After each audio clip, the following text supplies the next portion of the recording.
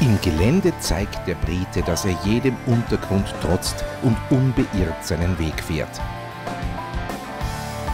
Die Vollaluminium-Monocoque-Karosserie spart Gewicht und ist trotzdem sehr verwindungssteif. Das wirkt sich positiv auf die Geländeeigenschaften aus. Seine Offroad-Fähigkeiten verdankt er dem neuartigen Terrain Response Autosystem, das eine automatische Abstimmung aller Fahrzeugsysteme auf Untergrund und Umgebung vornimmt.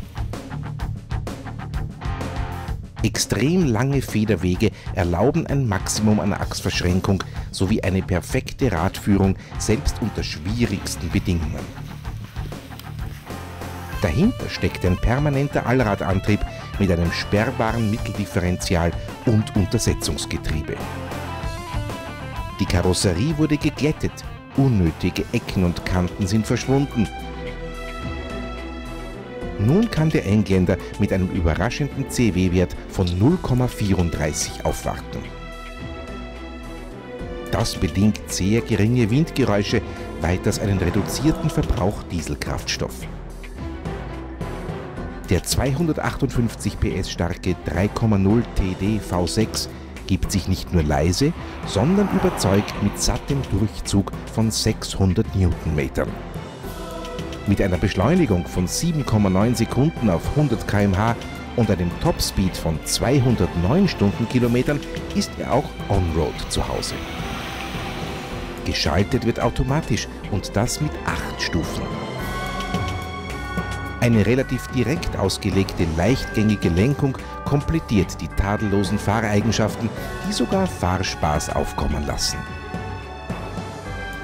Eine Kurvenneigung gibt es nicht. Der Zweitonner lässt sich leichtfüßig auf kurvigen Straßen bewegen. Im Innenraum herrscht Luxus pur. Klimaautomatik, Ledergestühl oder ein großer Monitor in der Mittelkonsole müssen nicht eigens erwähnt werden. Dafür sollte aber die nahezu perfekte Verarbeitung hervorgehoben werden. Eine elektrische Sitzverstellung ist ebenso selbstverständlich wie elektronische, gut ablesbare Instrumente. Die integrierte Kühlbox in der Mittelkonsole ist eines der wenigen Features, die zwar aufpreispflichtig, aber praktisch sind aber angesichts eines Grundpreises von 128.100 Euro in der Autobiografie-Version sind die 403 Euro für stets gekühlte Getränke eine vernachlässigbare Größe.